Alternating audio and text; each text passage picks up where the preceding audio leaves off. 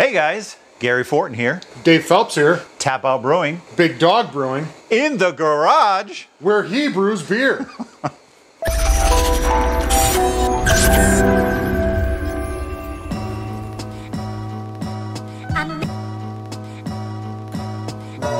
Hey everybody, Main Brew Guy here.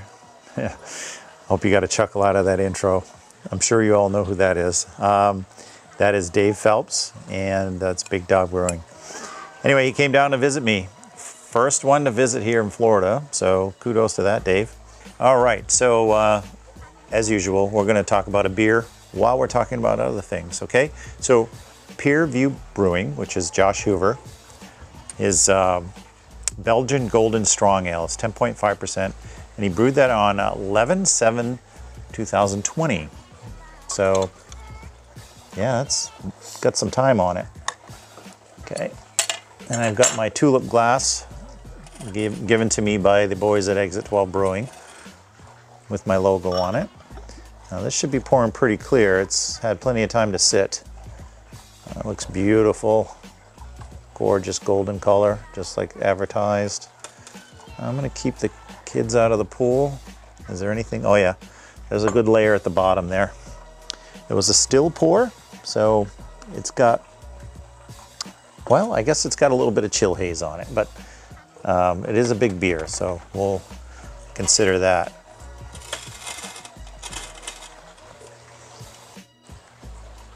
Yeah. All right. Good. Got a nice look at that on the drool cam. Oh yeah, getting huge Belgian notes.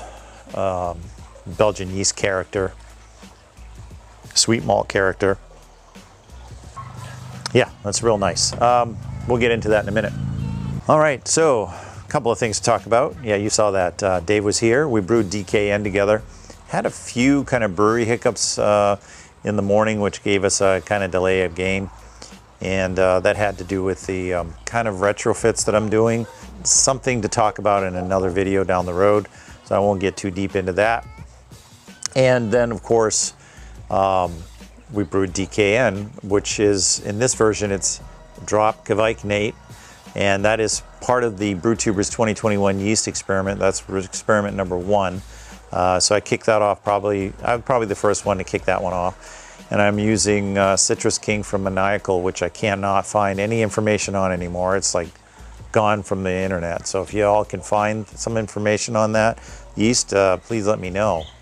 Anyway, um, yeah, I'm wearing this shirt. And uh, the reason why I'm wearing this shirt is this is the last time we were all together um, before COVID-19 hit. So I wanted to talk about uh, NHC in 2022, which is going to be in Pittsburgh. Uh, BrewTubers, of course, is going to be there. We're going to be there on club night. We're going to have our new booth set up. Oh yeah, Josh, that's a real good beer, real solid.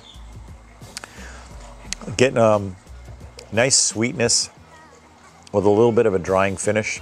Um, it's got a lot of apple kind of um, cider kind of quality to it, actually. Yeah, it's very cider-like. No hop aroma. It's just all Belgian character, even on the taste. But a real nice, clean rendition of a Golden Strong Ale. All right, so a little more of that brew day. We didn't get to record too, too much. Dave was uh, on a time crunch and we had some other things to do related to BrewTubers itself. So there's a few bits of footage right now. We'll take a look at that. Okay, everybody, we're here in uh, Tap Out Brewing. We're brewing a uh, experiment beer for BrewTubers 2021 yeast experiment. It's the Drop Kveik And uh, we've already mashed in. We're at the end of the mash. We're heating up the sparge water. Um, had a little delay of game this morning. I had uh, made some brewery changes prior to this brew day, which I'll discuss in another video. But I had a leak and also there was a pump problem this morning that I had to fix.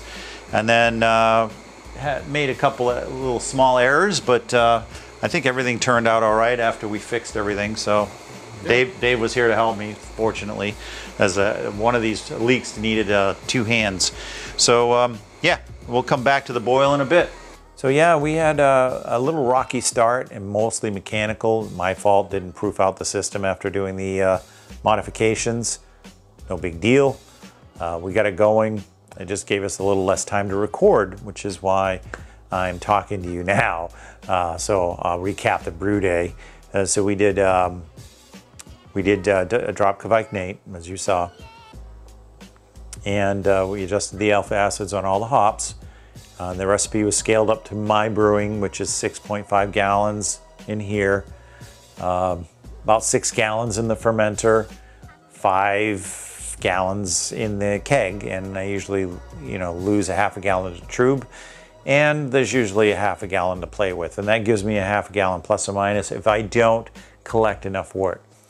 Uh, we collected plenty of wort because I overshot. Um, we're, I was following my uh, gravity kind of throughout the boil and adjusting the boil rate a little bit. So Dave and I was checking um, the gravity throughout. At the beginning of the boil, the OG was 1045. Uh, we're shooting for 1042, but I always, I think that's always low for me on BeerSmith for some reason, because uh, um, if I don't boil, if, if my if I hit my pre-boil number and don't boil heavy, I won't hit my final gravity. So that's why I always think that number is a little off, and I'm not sure why.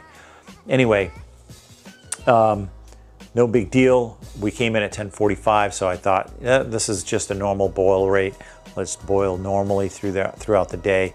So I was, it was a cool day, so I was brewing at 70% power. It was a regular boil rate. Checked it a couple more times. It's getting close to the end. We were already at 1053. I said, Oh, 1052. We were right, right at 1052 with 10 minutes left in the boil. I said, yeah, I'm probably going to overshoot this a little. What I did was there was some wort left in the mash tun.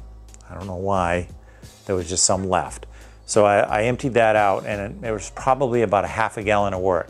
I checked the uh, final gravity on that and it was 1042.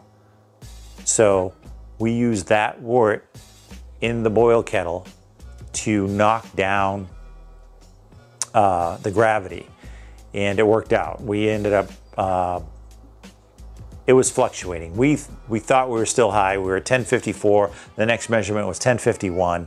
Then it was 1052. It was kind of like moving. It was a moving target a little bit with the Brix meter. So I said, you know what? We're just going to leave it alone, and I'll wait, and I'll do a hydrometer read with it.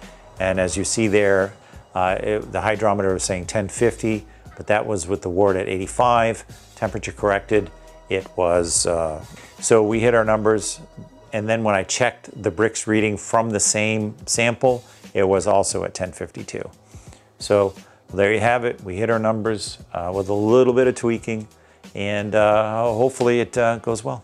Yeah, it wasn't much. Brew day went well. Um, anyway, back to NHC. So um, yeah, so Pittsburgh is uh, much more centrally located. So I, I think there's going to be a lot of uh, people wanting to come put their beers on tap. Now, I think that we could probably safely manage five to six taps tops.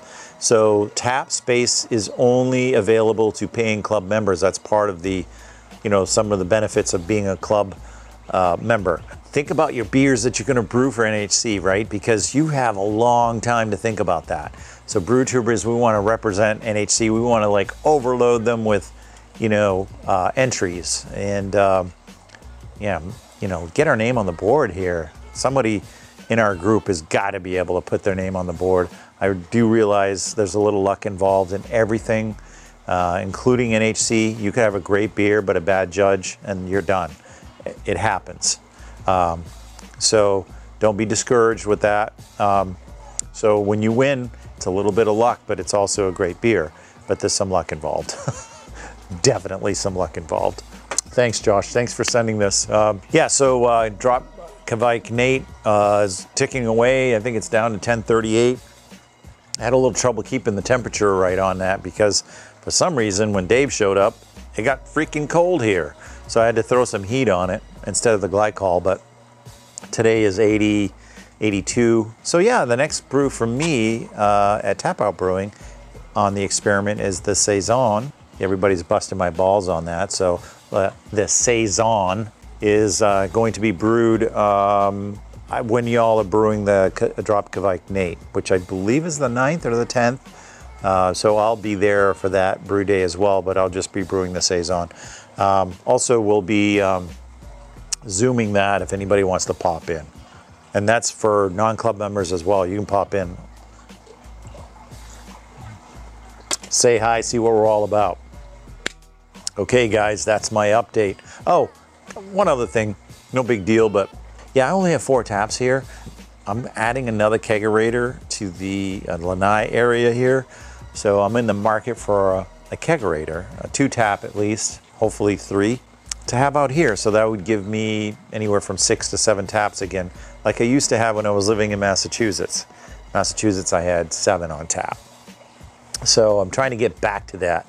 Uh, I have nine kegs, so a lot of them sit idle. Uh, so I'm ready for another kegerator, and then that way I can brew more beer. So that's my update, guys. Thanks, Josh. Thanks for the beer. Thanks for the Golden Strong. There you go. Great beer. I'm going to go ahead and sip that and enjoy it and edit some video. Cheers, guys. Check out brewtubers.com. Click on Discord. Also, sign up, even if you don't want to commit to the registration, the full paid registration, there is a free membership as well, which you can go to Discord and get in the lobby with that free membership. Come check us out, man. Things are happening. We got a big thing coming up in the fall, too. Check us out. Cheers. Very nice job. Awesome.